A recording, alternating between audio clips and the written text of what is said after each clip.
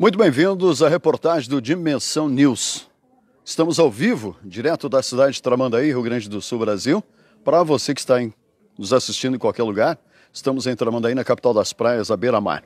Temperatura aqui por aqui em torno de seus 20 graus, 19 graus. Hoje foi um dia muito bonito, nesta terça-feira.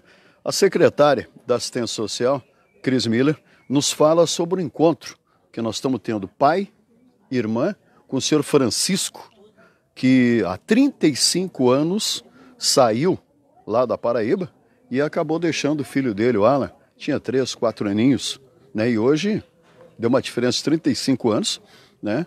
Para o reencontro entre pai, filho, a irmã dele, né? Que também se encontra aqui no Rio Grande do Sul. Secretária, como é que foi esse trabalho de busca, de procura, de encontro? Uh, bueno e uma, um prazer estar essa tarde aqui. É uma tarde muito emocionante.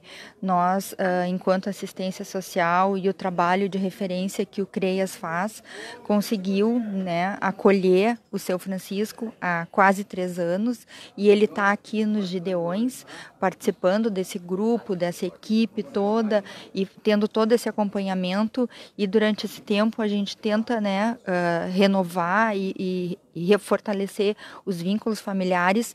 E a gente agora está participando né, desse reencontro pós 35 anos de afastamento e agora está nesse momento lindo né, com a família, ele conversando com a irmã, conversando com o filho. Então, assim, vocês vão acompanhar a reportagem completa. Foi extremamente emocionante e é uma gratificação muito grande, assim, da gente estar tá, uh, cumprindo o nosso dever, fazendo o nosso trabalho e a cada passo a gente alcança e consegue, assim, essas conquistas, assim, maravilhosas, né? Um grande abraço para vocês e o trabalho de vocês fazendo a cobertura desse, desse reencontro encontro. Esse é o trabalho, então, portanto, da assistência social do município de Tramandaí, né, pela secretária, pelo prefeito, é de fazer o encontro. Alan, hoje, depois de 35 anos, como é que é esse encontro? Como é que você sente? Né? A família é grande, pelo que eu vi, né? Você tem um avô de 88 anos, é isso? Tem um avô de 88 anos, está vivo. Qual é o nome dele? É José Pinheiro Costa. Mora onde? Rio Grande do Norte, Natal. Morrendo de saudade do, do filho, morrendo de vontade de dar um abraço de dizer o quanto ama, porque na realidade são 35 anos de carinho, 35 anos de afeto, de amor, que ainda não damos e estamos com essa intenção, o mais rápido possível, de matar essa saudade. E com a ajuda de todos, eu sou muito grato à imprensa, sou muito grato, sou muito grato à Cris, ao trabalho que vem elaborando aqui com o pessoal dos Gideões, que vem dando a mão, trazendo um trabalho bonito, um trabalho que resgatando pessoas de longe, pessoas de outros estados, resgatando e fazendo uma coisa boa, saudável, salutar para a sociedade, que lá do meu interior, da minha Paraíba, lá de Campina Grande, veio fazendo a diferença, onde eu vim com o intuito de resgatar através de um bom trabalho que foi feito aqui. Olá, nós estamos ao vivo, né, o Dimensão News, é, e fala para gente, quantas horas de lá para cá, como é que veio? É, eu, eu vim de carro para o Rio Grande do Norte, gastei três horas e meia, de Campina ao Rio Grande do Norte. Campina, Rio Grande do Norte, três horas. Três horas. E nove horas do Rio Grande do Norte para cá, para Porto Alegre. Você fez uma parada onde? São Paulo? Parei em São Paulo, em Guarulhos, e direto para cá. Mais um pouco de 9 horas para cá, automaticamente 12, 12 horas, horas, na estrada. 12 horas. Mas vale a pena depois de 35 anos. Como é que foi aquele abraço que a gente registrou aqui com teu pai? Eita, as palavras não me cabem. É aquele abraço que o filho queria dar há 35 anos. De dizer, pai, eu te amo.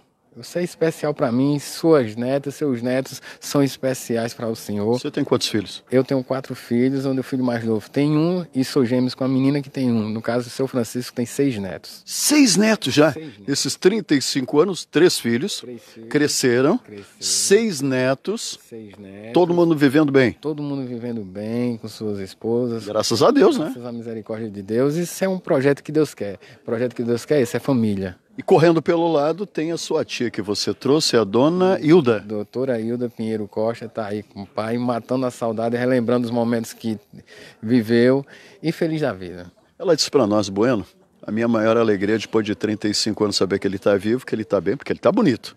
Né? 62 anos, é isso? 4, 64 agora. Agora, dia 6. Tá, e agora vocês conseguem é, enxergar, ver, dar um abraço, Isso. tá?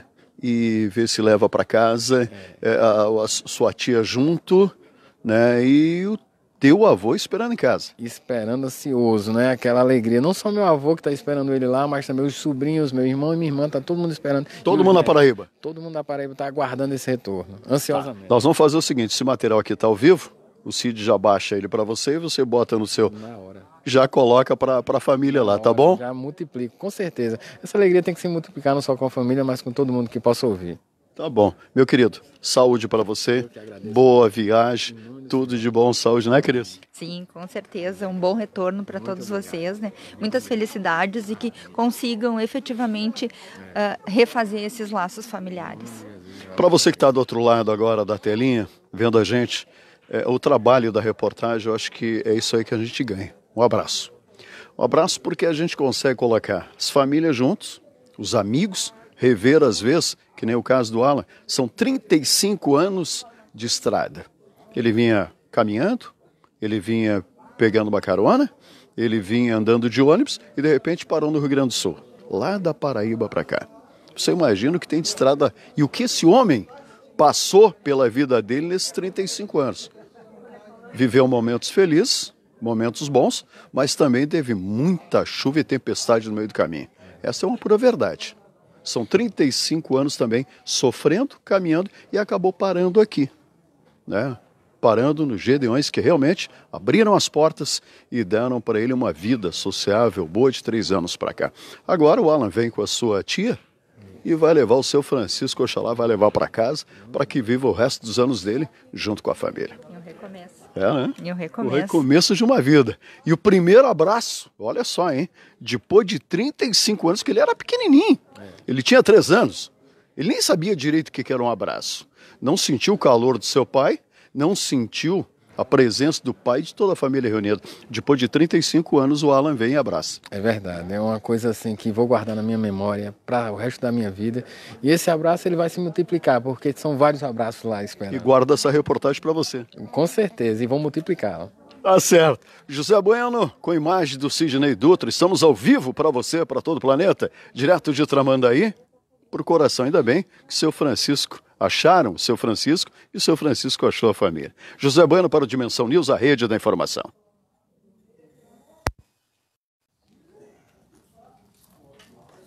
É isso. Obrigado. Obrigado, Bueno. Vê se leva o bebê para casa. Oh, rapaz, tá difícil. O Cid vai...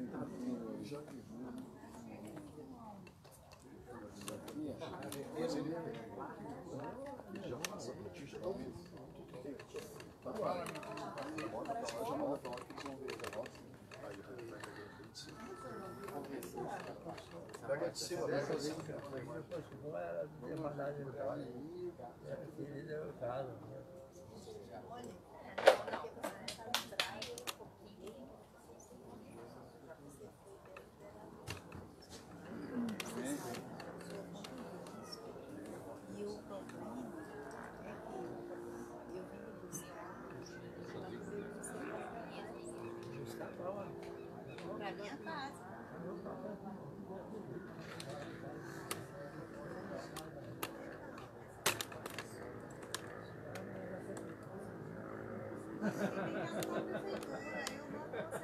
Não é Não é, não. Não. Não é Eu preciso fazer isso. É dela? É dela. Se ela disser que não tá. Eu posso